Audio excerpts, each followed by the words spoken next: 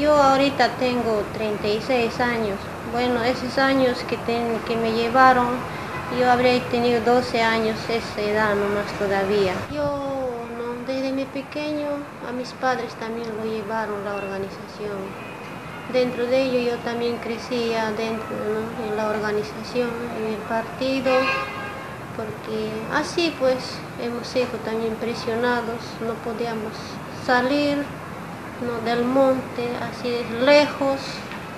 Y como tenemos nuestros niñitos también, no podíamos a dónde ir, hasta por a veces por el temor de que allá cuando se van a ir les va a llevar, les va a violar, les va a maltratar, les va a matar, así van a vivir.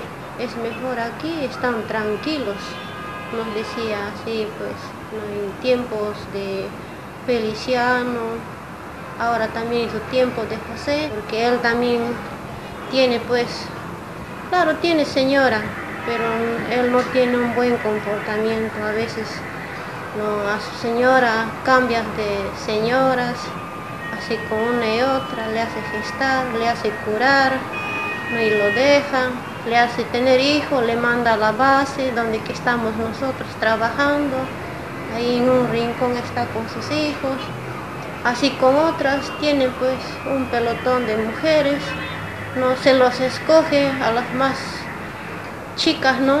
Como se dice, y se lo lleva, están juntos ahí trabajando, caminando. ¿Qué le pasa a una persona que quiere escaparse?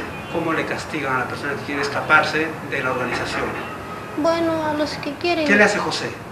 Bueno, a los que ya a veces algunos cuando se escapan, no se va, quieren ir al otro lado, ya pues así le alcanzan, lo matan. ¿Matan a las personas que quieren escaparse? Sí, a veces por todo ese temor nosotros también no hemos podido salir.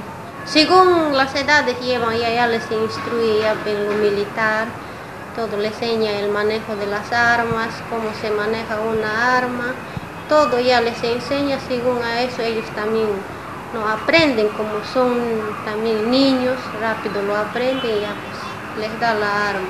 Había casos en que niños morían por falta de médico. Ajá, morían hasta a veces con anemia, cuando ya no se podía cómo curar, hasta morían. Pues.